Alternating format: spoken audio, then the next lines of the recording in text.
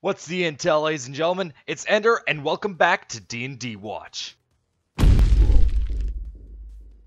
This is the series where I take an Overwatch hero and try to build them within Dungeons & Dragons 5th edition. Assuming you already have a basic knowledge of the games and a few of the rulebooks, you can jump right in and follow along.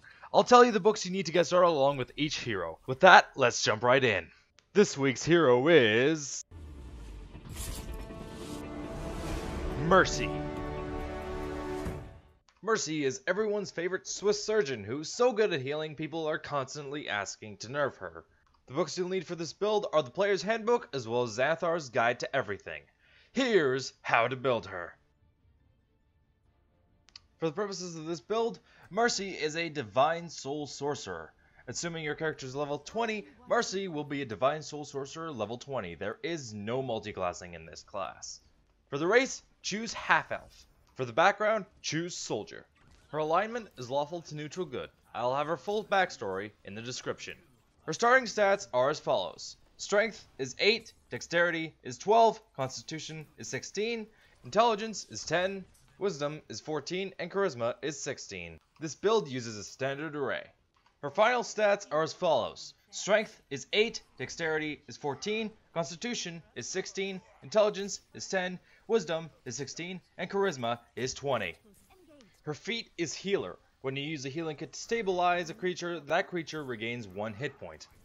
Additionally, you can expend one use of a healer's kit to heal 1d4 plus 6 HP to a creature, plus the maximum number of hit dice. For your proficiencies, choose Athletics, Intimidation, Insight, Investigation, Medicine, and Persuasion. The sources for these proficiencies are listed. For the starting equipment, take a lock crossbow and 20 bolts, an arcane focus, which you can flavor as Mercy's Caduceus. Either pack really works, depending on your campaign, and the two daggers. The key spells for this class are as follows. Cure Wounds, which if you take the distance spell meta magic, is basically Mercy's healing staff. Bless, which can be sort of flavored as her damage boost staff. Firebolt and Sacred Flame, which can be used as her blaster.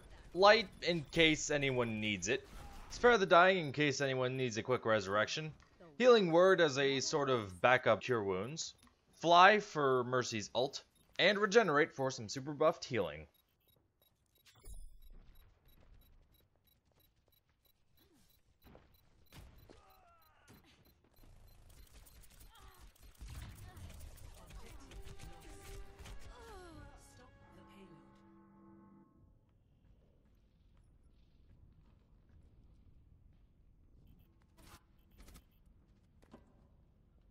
guys. Detected.